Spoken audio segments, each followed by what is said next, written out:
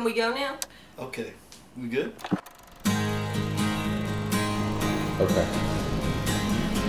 I was toying with the idea that I could write a memoir, and uh, a friend of mine gave me a copy of The Liars Club by Mary Karr. After I read the book, I was totally blown away. I became an instant fan because I thought the writing was poetic and beautiful, and I really hit on the notion that this writer could write songs, and she just happened to be from the same part of the country that I was from. My sister's secretary kept telling me that there was this song, I was name checked in, and it says the whole list of people Tom Waits, Aretha Franklin, Mary Karr. About six months later, I get this CD at the university where I teach, and sure enough, it's Rodney Crowell. He's written me a note, and I listen to the song. It's kind of an amazing song called Earthbound. If you ain't running had every intention to convince her that we could write songs together, and it took a little while to get her to warm to the idea, but when she did, she took to it like a duck to water.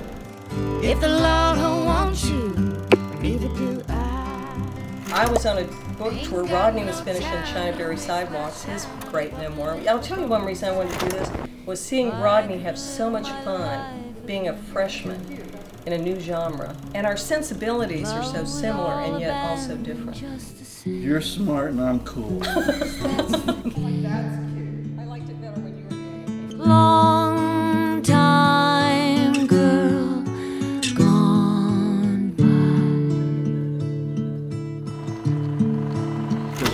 rhythm to words that go from a songwriterly point of view, and there's a certain rhythm and quietness from the poetic point of view. It would make the songs more unusual. That's our collaboration.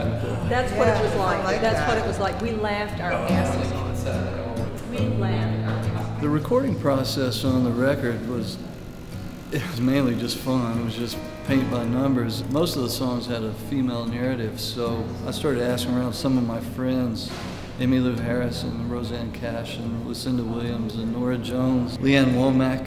We got Vince Gill and Kris Kristofferson to come in and help me shoulder the load as a singer a little bit. Joe Henry produced my record Sex and Gasoline and and it was such a great process working with him. Joe's very creative and very supportive and he gets me away from old habits that I developed because I've been doing this for a while. Gotta listen you. There's a great line by a guy named Walter Pater. All art constantly aspires to the condition of music. And I kind of feel that way about musicians. It's to me it's like the most exalted form because it's where form and content are completely interwoven. You know, a note doesn't mean anything except in the context of the other notes. So you're kind of creating a new language in every song, I think. I came up with the line, when our feet were tough as nails, and you go, it's not nails. You know, because nails sings, you know, I've heard that word sung so many Right, times. right, and you, right. Then you said, it's horn. Your feet are tough as horn when you're children and you're barefooted. And I said, well, that's not, but then I realized that was the poetic choice. Mary, thank you. I, I enjoyed the experience of writing these songs and making this record with you. It's really a high point in my creative life. You're such a great artist. I love and admire you. Thank you.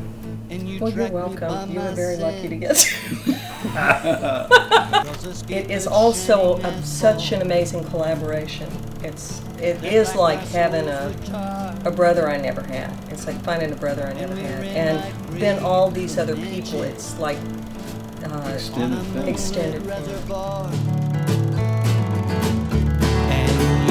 Said, I don't wanna be tamed down. I just wanna saddle up ride my big pony along some salt grass open plain. But you really showed your hand. I've been off tin cans with your daisy pump barrel rifle and your Randy Oakley